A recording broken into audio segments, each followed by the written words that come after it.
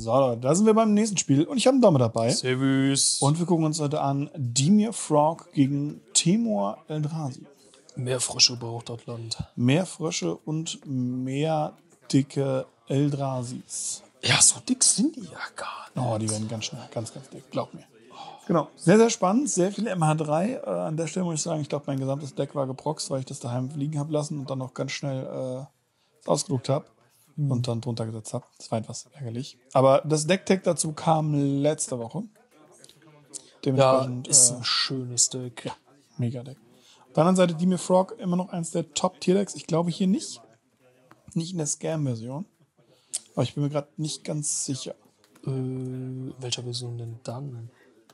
Sowas wie mit dem Flood, äh, äh, Flood Moon und so im, im Mainboard. Dem Ach so. neuen äh, Magus of the Sea, oder wie heißt? Äh, äh, äh, ist, äh, Ich weiß nicht, wie heißt der. 3 Mana 2, 2 mehr. Harboring der, of the Seas. Harboring of the Seas, genau. 3 Mana 2, 2, der alles der ist non-basic zu Inseln macht und so ein Kram. Ist hier Mainboard tatsächlich drin.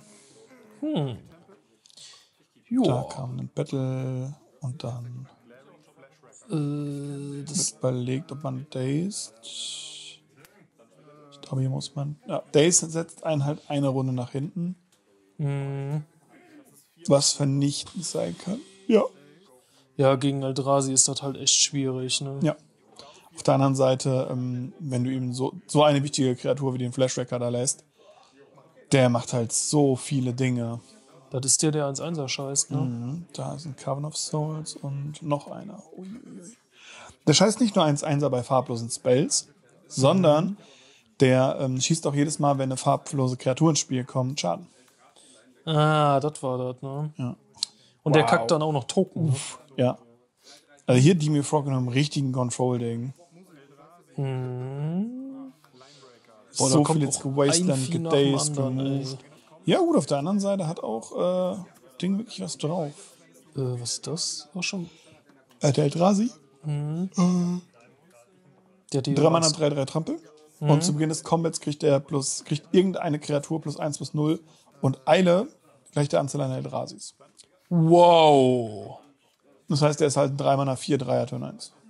Und den hat er durchgehen lassen mit dem Force auf der Hand. Ja, man kann ihn ja bouncen. Äh, ja, stimmt. So kannst du dir halt die Option offen lassen, den zu bouncen. Ähm, und dann nächste Runde Harbringer zu spielen, weil damit sieht Temo Eldrazi meistens ziemlich alt aus. Ja. Ich glaube, fast alles da drin braucht ein farbloses. Nee, viel wichtiger, es braucht super viel Farbiges. Ah, stimmt. Das auch. Und das kriegst du dann nur, nur noch über die Petal. Hä? Und den One of Mox, den man drin hat. Das ist der Command. Ach, der, äh, der Eldrazi-Command, Kozilek-Command. Ne? Einer von den beiden, es gibt ja zwei. Und da ist der Typ, der Länder raussucht, ne? Ja, ich glaube, da wird auch gerade dran überlegt, ob man hier nicht einfach sich ein Land raussucht. Okay, man sagt Go. Und dann würde ich gern fetchen, bevor du in Combat gehst. Obwohl, kann ja, ist eigentlich egal. Am besten wäre sogar in Combat. Weil dann kann er nicht mehr angreifen. Ja, ich glaube, man geht hier für einen Surveiller. Oder einen Sumpf. Es müsste, glaube ich, einfach der Sumpf sein. Geh für den Sumpf und dann Ja. ist gut. Für den Flood Mage. Da muss der der Sumpf, Sumpf da war der Sumpf gerade. Ja, hat man nicht gesehen. Ich glaube, da war noch ein Sumpf. Sucht man eine Nee. Insel? Vielleicht das die Insel, die wir gesehen haben. Da. What are you searching for? Okay. Strange, aber Ah. Weird. okay. Ja, wahrscheinlich wurde einfach äh, irgendwie eine, eine falsche Liste gespielt. Ja, okay, wäre halt blöd, wenn er keinen Sumpf spielt. Drown in the Loch. Das war ein guter Draw. Das war ein guter Draw. Man hat nicht mal angegriffen, sehe ich gerade mit dem, mit dem Eldrazi. Weil man Angst vor einem äh, Doppelblock hatte. Genau, hier war jetzt die Frage, kann man mit dem Command seinen eigenen Friedhof fressen, damit Drown Loch nicht mehr targetet? Also nicht mehr destroyed? Boah. Und das ist leider nicht mehr der Fall. Weil du eine Target Creature mit bla bla bla bla und man targetet sie, dann ist sie schon legal. Ach so, ja, das wäre ein illegales Target. Ja. Da fliegt der. Boah, der schmeißt den Harbringer weg. Den hätte ich jetzt auch nicht weggeworfen, ehrlich gesagt. Ah, es ist kein, es ist auf jeden Fall kein drittes Land. Also dementsprechend Ja, okay, aber nur ein Land from, from top und du wärst safe gewesen. Ja. Jetzt Boah, kommt. das wird jetzt widerlich. Na, ich glaube, man ist hier leider nicht in der Double Wasteland-Position. So, das passiert jetzt alles auf den Cast. Genau, das heißt, man äh, macht sich ein Landkonflikt dann kaputt. Und dann darf man sein Deck dann im Land und es ändert das Spiel bringen. Man könnte es Wasteland nehmen, Ja. aber nachdem er jetzt einen Landdrop gemisst hat und jetzt nur so, ein, so eine Billo-Kreatur spielt, glaube ich tatsächlich, es ist smarter, wenn man jetzt hingeht und irgendwie eine Cavern oder so nimmt. Wasteland wär wäre als devastating, dann setzt du den auf null Länder zurück. Ne? Ja, das stimmt schon. Hm. Auf der anderen Seite muss man halt überlegen, wenn man äh, jetzt was wie, oh, Eiervogel. Ha. Das kann ich nicht erklären. Brainfart. Wegen dem Command. Ah ne, der ist gecountert worden. Tja. Und der Eldrazi an sich ist, glaube ich, 3-3, ne? Ja. Hm. Und so viel Karten zieht das Deck nicht. ja. Nee. Wasteland. Boah, du musst doch irgendwann nochmal was machen, Kollege. Ja, da hätte ich auch nicht gewastelandet. Aber man hat hier halt Angst davor, dass halt jetzt irgendwas Dickes kommt. Ja, aber das kommt jetzt so oder so. Also, Uh, wäre aber stark gewesen. Es war ein Nulldrifter. boah. Der hätte noch mal ordentlich Kannen gezogen. Überlegt man sich noch mal ganz kurz. Ja. Die ist, da erinnere ich mich noch dran. Es war nicht, dass er den Trigger angesagt hat, aber äh, es war halt so ein, äh, Äh, ich leg den mal auf, ah, warte, nee, mach ich nicht. Wir sind hier im FNM, wir sind im Casual Mode, wo wir schön zusammen spielen und Spaß haben. Dementsprechend äh, ist das vollkommen okay, wenn sowas passiert. Und wir wollen euch ja ein anständiges Gameplay liefern. äh, Scrying für den Arsch voll? Mm, Tatsächlich nur für zwei. Scry 2 und Destroy. Uh, Exile Creature ist 2. Lässt man durch. Spannend. Man weiß doch, dass das andere auf der Hand ist. Ich, ich glaube, das hätte ich gecountert. Das Ja, hätte ich safe gecountert. hätte ich auch. Ähm, ja, jetzt so langsam geht's halt war gegen, Ende, ne? Weil den zu countern, das ist jetzt halt echt so per Nee, ich hätte auf jeden Fall den Command gecountert. Der Command hätte weg müssen. Weil dann hätte man jetzt immer noch den Dude und hätte jetzt immer noch was machen können. Äh, Jetzt ist man halt in der Position, wo man jetzt sein will, ne? Richtig widerlich. Ich sag's mal so, es geht tatsächlich von beiden Seiten aus noch. Ähm, den Brainstorm kann man jetzt Mainboard spielen, also in der Maincasten. Hm. Ui, Äh, das um. Kein Länder. Brainstorm-Log? Fragezeichen. Mhm. Ja, da hätte man zwischendurch nicht Wasteland sollen. Ja. Wasteland zocken ist manchmal nicht so der smarteste Move. Auf der anderen Seite, so hat man den Nulldrifter umgangen, aber den Nulldrifter, der wäre sogar schon fast fair gewesen. Ja. Hätte man jetzt noch einen anderen Bowmaster reinlegen können. Also da wäre eine Menge mehr passiert bisher. Mhm. Ne, da kommt man, glaube ich, nicht mehr raus. Das Nee, ist mal zu weit hinten dran. Schade. Mit Rasi, man geht hier noch in die komplette Offensive und schaut, weil man wirklich noch nicht sicher ist, vielleicht nur Google. Aber Ja, aber mit einem dass Mana, so- da ist ein Dress, Ja, ja. äh, das ist das Dismember, das kannst du dir nicht leisten und dann, ähm, ja. ja, ist einfach um. Einmal hier ganz kurz Werbung für mein Patreon. Vielen, vielen Dank an alle meine Patrons, vielen Dank an alle Leute, die mich unterstützen und auch an die YouTube-Member.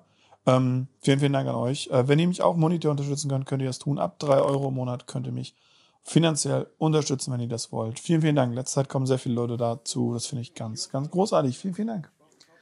So. Game 2. Puh. Also ich weiß, dass äh, Timo Eldrazi Null Elemental Blast. Genau, Null Elemental Blast, das, äh, das Auto, das Unlicensed Hearse, Ja, ist auch eine ziemlich gute Karte gegen das Deck. Und äh, ja, diesen Mainboard, das ist die, ähm, Vexing? Bubble. Vexing Bubble, Ja. genau. Hm, Hilft halt gegen Reef, hilft gegen Force, hilft gegen Days. ja. Hilft gegen eine Menge. Ja. Da ist auch wieder der Harbringer auf der Hand. Ich würde halt hart für den Harbringer gehen. Hm. Auf der anderen Seite ist da halt schon ein Forest. Forest, ne? ja. Aber der Harbringer, der schneidet dann zumindest von den Ramp-Mana ab. Das sind zwei. Zwei Mana. Das ist Anders. Uiuiui. Mhm. Lebenspunkte wurden noch nicht zurückgesetzt. Nee. Gucken wir uns, wie das realisiert wird. Hat man, das, hat man Land? Boah, Kollege, wenn du ein Land hattest, dann hätte ich das Ponder nicht gespielt, hätte ich den Harbringer gespielt. Ja, auch safe. Safe. Harbringer ist so eine Der wichtige bringt Karte. dir so einen großen Vorteil. Ja, Ja. da war ein Land. Ja. Oh. Okay, man will das Force abschmeißen, um da hinzukommen. Ach, das war ein Surveilland, wenn ich das richtig sehe. Ne? Ja, und Fetchland. Ah, nee, das Fetchland haben wir gerade aus dem, gezogen. aus dem äh, Ja, das ist ein Surveil. Trigger darauf werden die beiden Karten. Ah, nee, man macht einfach der drei. Mhm. Weil es nicht so relevant ist. Jetzt kommt was ganz Lustiges. Man äh, target jetzt zwei und damit überlegt, dass, dass man den Fliegen gibt, damit man drei, damit der Gegner es nicht targeten kann. Ist tatsächlich gar nicht so irrelevant für eine Unlicensed Hearse, damit die nicht growt. Stimmt. Oh mein Gott. Ja, dementsprechend hätte man hier das machen können, aber man hat sich nicht dazu entschieden. Ich habe extra nochmal nachgefragt. Darf ich? Ja, okay. Dann für vier Thousand Bam, Bam, Ding Dong. Okay, Force spielst du halt eh nicht, ne? Ja. Weil jetzt geht der Harbringer. Jo, Oh, Pomas, ist denn da immer noch drin? Interesting. Sehr spannend. Hätte ich Removal für gebordet, vernünftigen. Ja. Brainstorm plus Fettstand ist natürlich auch mächtig. Hm. Das halt auch gut. Okay, also kein Harbringer mehr. Jetzt ist die Frage: Reicht der Frosch? Ja, Frosch ist gut eigentlich. Man darf ist halt noch nicht so viele Länder. Ach, warte. Das Ja. brauchtest du für einen Brainstorm. Das ist schon wichtig, aber dieses nächste Land solltest du auf keinen Fall machen. Ja, Brainstorm. Brainstorm. Überlegt. Hm. Boah, so viele Länder. Ist das ein Mercury oder ein Dressdown? Äh, ich konnte es nicht richtig sehen. Aber es könnte natürlich auch ein. Murktide sein. Und zwei Karten ausgefressen. Auch hier hätte man wieder fliegend machen können. Ja, ein Response da drauf. Mhm. Schön einfach wegfressen. Ja, man denkt halt immer, man, man verliert was, Gegner. Hm, dann, dann nehme ich drei raus, dann kann er was anderes, Besseres wegfressen, aber er wird sowieso alles rausfressen. Jo. Und mit dem Frosch verhindert man halt wenigstens, dass er plus 1 plus 1 Mal kriegt. Mm, Jupp, und die Hearst schlägt dann halt auch irgendwann mal für 6, 7 oder so, 6, 8 oder so zu. 7 mit Sicherheit nicht, das sind immer Das ist richtig. Äh, weil doch, die kann ja auch bis zu. Ja, egal. Ähm, man geht auf den Basic. Okay. Heißt, man will Wasteland-Proof sein. Ist die Frage, ob das jetzt so viel macht. Lustigerweise nicht gegen den Eldrazi. Ne, der Deldrazi exalt ja einfach irgendein Land. England, damit auch ein Basic Land. Der ist dumm. Jetzt habt ihr Eldrazi, eine City of Traders und eine Engine Tomb. Äh, eine Engine Tomb und City of Traders, glaube ich, auf der Hand sogar. Hm. Ich schmeiß ein Discard. Land ab. Okay, was hat der für Greift er zwei? an. Ja, pff, den willst du nicht blocken. Naja, es, sorgt dafür, dass der Gegner eine Handkarte abwerfen muss. Okay, Baumaster, Shoot. Der Frosch ist tot. Der Frosch stirbt doch auch. Ha, wurde nicht realisiert im Eifer des Gefechts. Wow. Spannend. Da hätte man auf jeden Fall abwerfen müssen. Bowmaster Ping ist keine gute Strategie dafür. Oder wurde das Land abgeworfen? Auch. Ja, ja, das war die zweite Marke. So, stimmt, ja. Äh, Also- da ist der Eldrazi Ja, Sumpf plus Wasteland. zum Fluss Ich glaube, Wasteland. jetzt geht man dafür. Ha. Das ist halt so dumm gut. Du kannst zwei Länder loswerden in einem Zug. Er ist halt unsagbar strong. Ja. Es Und, ist unsagbar strong. und ich glaube, da gibt es auch keinen Prio-Wechsel. Ne? Ja doch, nach jedem Effekt, der am Stack geht. Also man kann zwischendurch ruhig reagieren. Ja. Fettland. Vielleicht wäre hier sogar diesmal sogar ein anderes Land besser gewesen.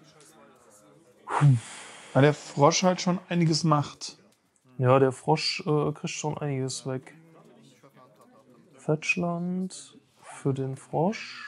Für vier ins Gesicht. Jo. Zieht meine Karte. Dann Zieht meine Karte. zieht man eine Karte. Leute, was ist los, ey? Tja, freitagsabends, ich sag's euch, beste Zeit, um Magic zu spielen, nachdem er acht Stunden gearbeitet hat. Ja, ja, alle Brainer. Ich muss aber wieder samstags aufnehmen, ich merke das schon. Also diese, diesen Monat nicht, aber nächsten. Ja. Dann ist auch, ist auch nichts mehr hier mit, äh, ich dreh mal zurück. Dann ist der Spaß vorbei. Dann ist der Spaß vorbei, dann gibt's nur noch blutigen Ernst. So, dann kann man hier für. Okay. Können die jetzt für zweimal den Son of Amethyst spielen, der auf der Hand ist? Ach du Scheiße, den spielt man im Sideboard. Ja. Okay, man spielt so rum. Uh, Tap, Wasteland, Wasteland, feuerfrei. Döp, döp, döp. Du hast jetzt einfach, der hat jetzt einfach vier Länder gefressen, der Scheißvieh. Ja. Oh, Jingle, Jingle, Jingle, Jingle Bells. Und das Hearst ist halt schon sechs. Wow. ja, weil da halt nicht gegengefressen wird. Also hier wurden, werden gerade eine Menge Fehler gemacht. Play, Play war, glaube ich, auch das erste Match des Abends. Boah.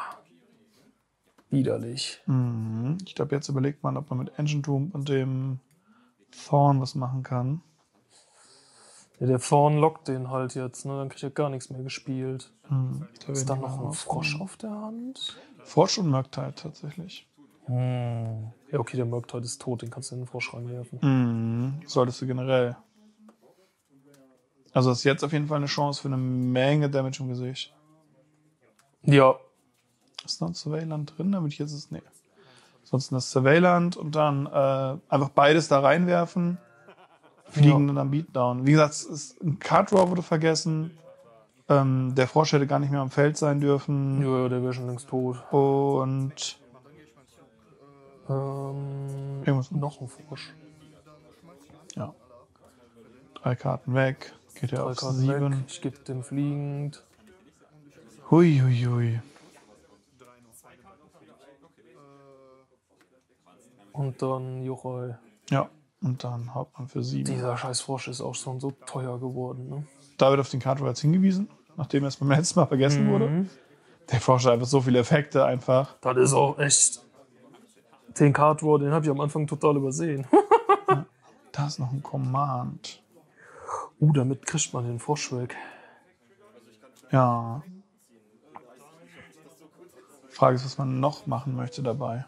Hm, ist der Instant? Ja, ja, klar. Boah, jetzt im Ernst. Der kann ja auch noch scryen, der kann Karten aus dem Friedhof exilieren und der kann äh, 0-1er erschaffen. Oh, der Force wurde abgeworfen. Oh mein Gott. Ja, ist ja eh der, die, die Bubble liegt ja. Der Force ist nutzlos. Das ist richtig. Wobei, wenn der vorn lag, würde dafür Ja, Mana ja, ist ein bezahlt. absolute Nombo, ist absolute Nombo. So, das heißt, man äh, macht hier 4 0-1er Eldrazi Spawns. Die alle, ne, der plus 1 plus 1 Zug liegt nicht, Nee. ne? Der ist halt auch dumm mit denen. Jo. Das ist einfach mal so eine kleine Token-Armee. Mhm. Boah. Jetzt Jo, geht man ja für 11 rein. das ist halt Man hat so. halt eine Menge 0-1 Blocker tatsächlich. Ja, du musst jetzt halt damit da reinhalten. Und wir sind an demselben Punkt wie eben. Er hat nichts mehr, noch nicht mal Länder. Uh, Son of Amethyst. Uh, Son of Amethyst. Oh ja. Jetzt bringt halt nicht mehr die Draw-Sachen was. Das ist gerade richtig gut. Ja, das ist rum. Mhm. Ich auch. Ich hätte keine Idee, wer, wie die mir das noch umreißen will. Schwierig. Wirklich, wirklich schwierig. Also ein bisschen Micromanagement und dann Mhm. läuft Oh, es Lord. wesentlich besser. Alle kriegen Platz 1 1. Oh, jetzt kommen die Lasst uns Wildschweine jagen gehen. Das heißt, du kannst jetzt die mit zwei von den Token crewen oder mit den dicken. Man hätte einfach mit einem, äh, mit dem 2-2er hätte man auch crewen können, hätte mit dem 3-3er mit angreifen können. Stimmt, ja. Weil die hat Crew 2, oder nicht? Die hat Crew 2. Ja. Das müsste ja eigentlich gehen, aber irgendwie. Hm. Boah. In Response Fetch? Die, 0, äh, die 1-1er wurden auch reingenommen. Für drei Mana noch ein Thorn. Wow. Ja. Das ist Fetch! So, um, wobei jetzt, Fetch! ja, wobei jetzt kann man tatsächlich äh, Sachen casten, oder? Stimmt. Kosten der Mana, die absolute Nombo. Ja, 2-0, Temo Eldrazi. Das war knapp und eine Menge Fehler mit drin. Ich hoffe, ihr vergebt uns das. Und äh, ja, wir geloben Besserung. Ich hoffe, ihr habt Spaß. Wenn ja, Daumen nach oben. Äh, Freund, Freundin, Mutter, Oma, Alles, äh, alles, alles verlinken, dem Bruder überall zeigen, dass wie cool Temo Eldrazi ist, dass wir in den Eldrazi Sommer oder den Froschsommer schlittern. Ich bin noch nicht ganz sicher. Eldrazi Sommer. Mal gucken. Ich hoffe, ihr habt Spaß. Wir sehen uns beim nächsten Mal. Bis dahin. Ciao, ciao.